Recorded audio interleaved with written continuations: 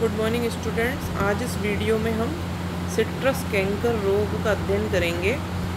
सबसे पहले तो हम ये जानते हैं कि ये रोग किस पादप पर उत्पन्न होता है। तो इसका जो परपोषी होता है, वो सिट्रस ओरेंटिफोलिया नाम का प्लांट होता है।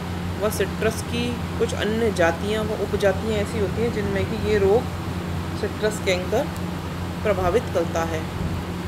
दूसरी बात देखें, भौगोलिक वितरण कि ये कहाँ पाया जाता है?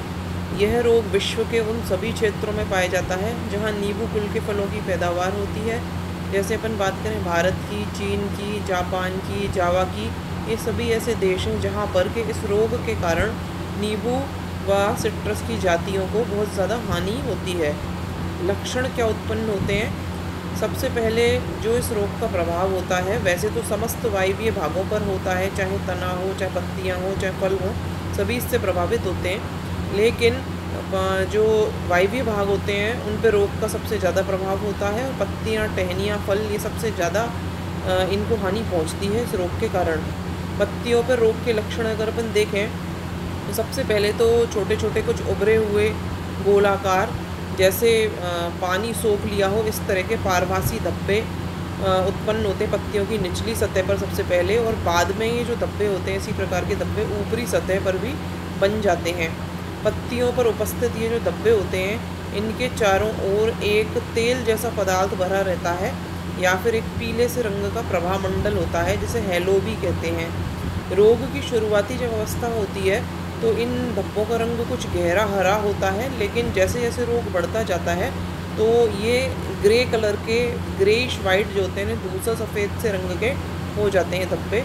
कुछ समय बाद अपन देखते हैं तो शुरू शुरू में तो ये धब्बे उभरे हुए होते हैं, लेकिन बाद में ये धब्बे फूट जाते हैं और उनके फूटने से एक गर्त या गड्ढा उत्पन्न हो जाता है, जिसमें हल्के भूरे रंग का एक स्पंजी सा पदार्थ भरा हुआ रहता है।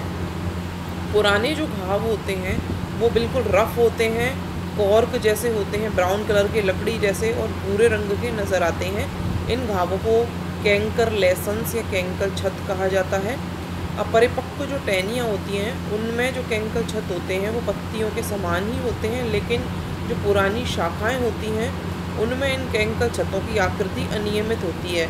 जैसे फल होते हैं, उनमें ही, उनमें भी पत्तियों के समान ही ऐसे कैंकर छत बनते हैं, लेकिन फ़र्क सिर्फ़ इतना होता है कि पत्तियों पे जो कैंकर छत होते हैं, उनके चारों ओर पीले रंग का प्रभा मंडल या हेलो पाया जाता है, जो तेलीय भाग होता है, जो चारों ओर से गलत को घेरे रहता है, लेकिन इस तरह का कोई भी प्रभा मंडल जो होता है वो फलों में नहीं पाया जाता है और फलों व तनों के जो कैंकर शत होते हैं, वो आकार में वृद्धि करते हैं, परस्पर एक दूसरे से संलयित हो जाते हैं और इनके आपस में जुड़ने से अनियमित पपड़ीदार जो छत होते हैं, वो बन जाते हैं। छतों का आमाप जो होता है, वो परपोशी की जाति के ऊपर निर्भर करता है।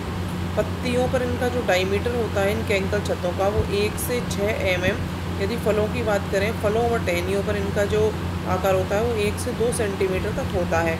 ये चित्र है जो ये दर्शाता है कि पत्तियों पर किस तरीके के, नींबू की पत्तियों पर किस तरीके के ये कैंकल छत नज़र आते हैं। फल, दूसरा चित्र जो बी चित्र है, वो फल का चित्र है कि नींबू के फल के ऊपर किस तरीके के ब्राउन ब्राउन धब्बे नज़र आते हैं। कई बार अपन बाज़ार से नींबू खरीदने जाते हैं तो अपन देखते हैं कि उनके ऊपर ब्राउन ब्राउन कलर के बुरे बुरे कलर के कुछ उभरे हुए निशान से होते हैं, वो सब सिट्रस कैंकर रोग के कारण ही होते हैं और जो तीसरा चित्र है, वो उस जीवाणु जेंथोमोनास कैम्पेस्टस सेट्राई का चित्र है, जो इस रोग का रोग कारक है।